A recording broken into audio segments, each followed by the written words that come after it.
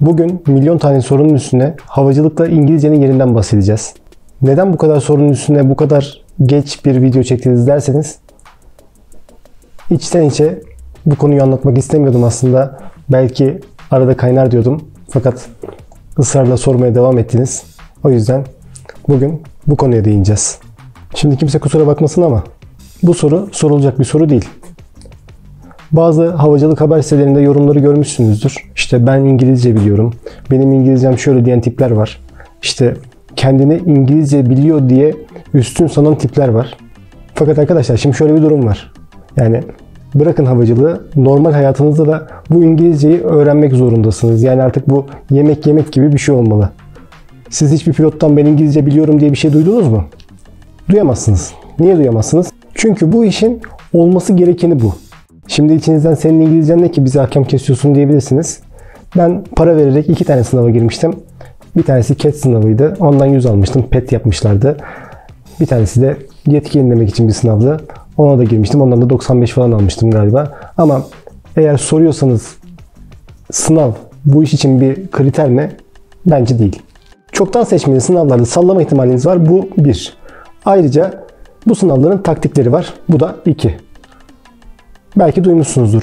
Çok fazla kişi YDS sınavına girer ama istediği notu alamaz. Ama ne yapar bu adam? Gider bir kursa kaydolur, eğitimini alır, daha sonra geçer. Peki bu kursta çok mu iyi İngilizce öğretiyorlar? Hayır. Ne yapıyorlar? Taktiğini öğretiyorlar. Ben bir dönem Eskişehir'de yaşadım ve bu Eskişehir'de yaşadığım dönemde bir dil okuluna gitmiştim. Okulda adı Maylı bir şeydi. Şimdi tam olarak hatırlamıyorum. Ama çok iyi bir okuldu. Hocaların çoğu yabancıydı ve arkadaş gibiydik. Beraber çıkardık, gezerdik, dolaşırdık, yerdik, içerdik, maç izlerdik. Ha, çok iyi bir İngilizcem yoktu ama konuşuyorduk. Yani o sıra konuşmam çok gelişti. Hatta bir ara İngilizce rüyalar bile görmeye başlamıştım. Kuzenim de sağ olsun İngilizcesi ana dili gibidir. Onlarda kalıyordum.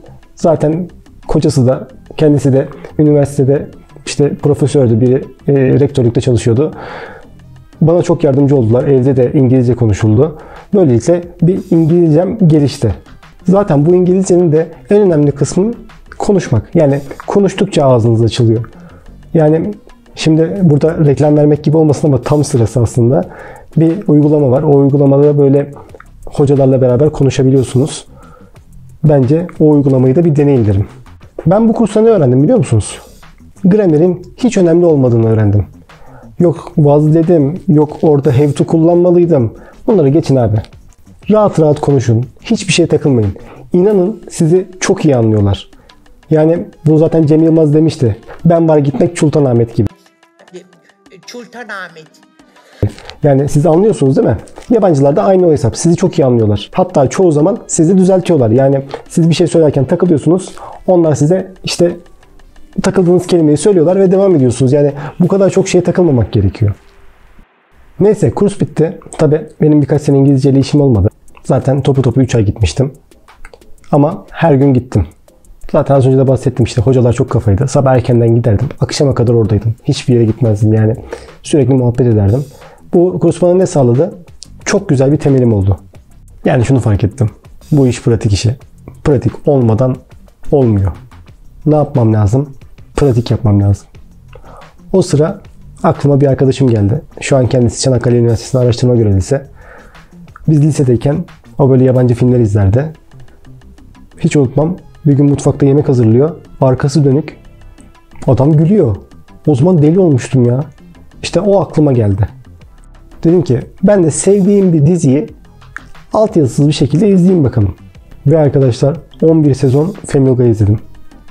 O 11 sezonun sonunda dedim ki Allah'ım İngilizce biliyorum. Tabi başlarda hiçbir şey anlamamıştım. Sadece ekrandaki şeylere bakarak gülüyordum. Zamanla kulak aşinalığı oldu.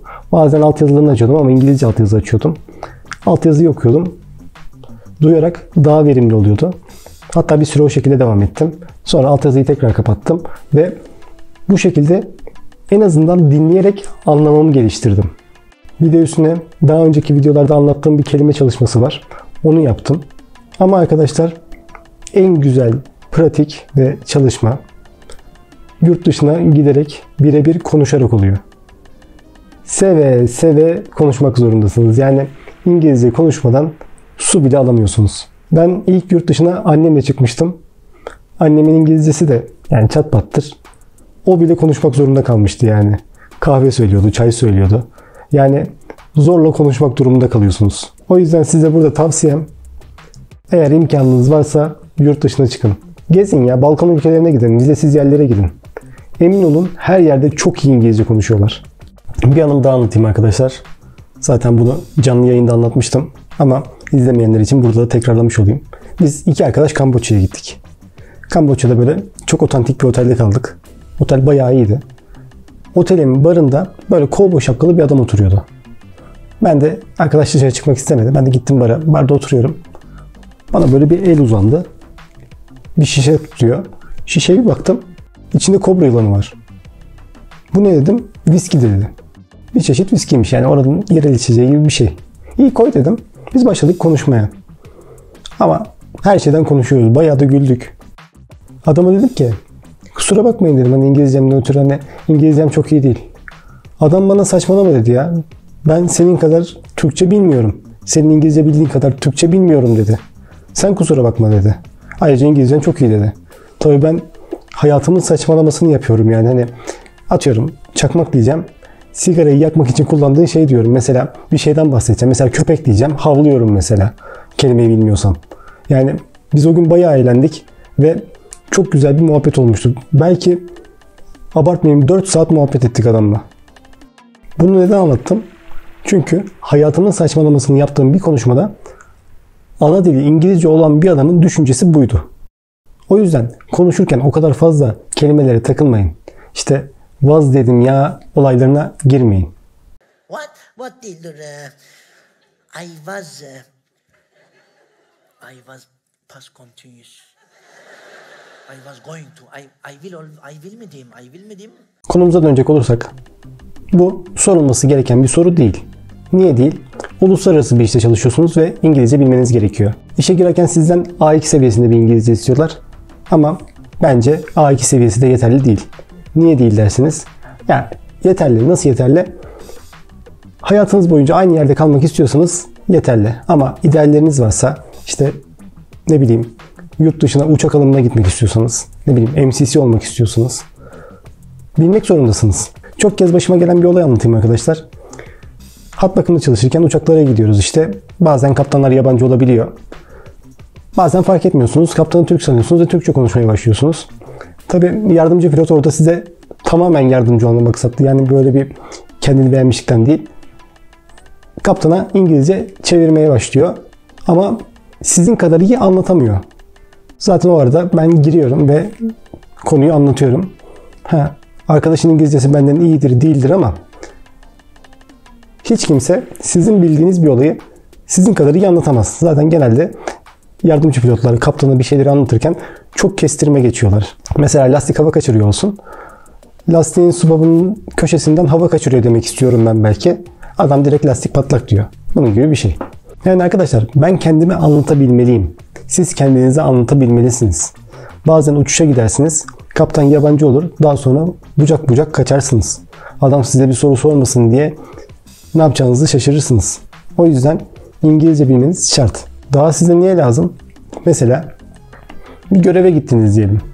Ya da bir uçuşa gittiniz. İndiğiniz yerde problem yaşadınız. E, istasyon yetkilisi yabancı. Nasıl anlaşacaksınız? Derdinizi anlatmanız gerekiyor. Ne bileyim ya bir telefon isteyeceksiniz belki. Onu bile isteyemezsiniz arkadaşlar. Çünkü adını bile bilmediğiniz ülkelere gidiyorsunuz. İnternet bulamıyorsunuz. Sizin telefonunuz orada çekmiyor. Yani problemler yaşarsınız. Mesela tip kursuna gittiniz. Oldu da şansınıza sizin sınıfta bir tane yabancı öğrenci vardı.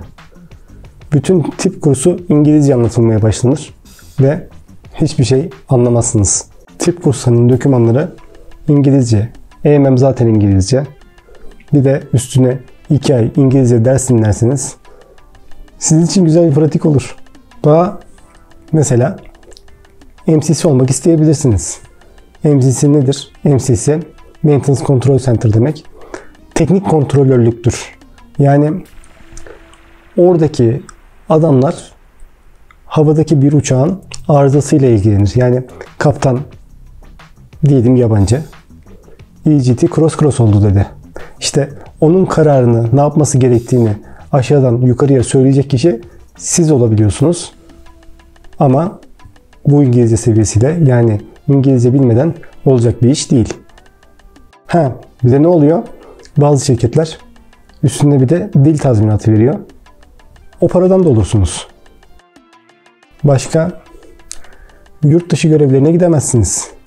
Eğitimlere gidemezsiniz. Uçak alımına gidemezsiniz. Asıl yetki mülakatını geçemezsiniz arkadaşlar. Yetki mülakatında da İngilizce. Umarım bu söylediklerim aklınıza yatmıştır. Başka videolarda görüşmek üzere. Hoşçakalın.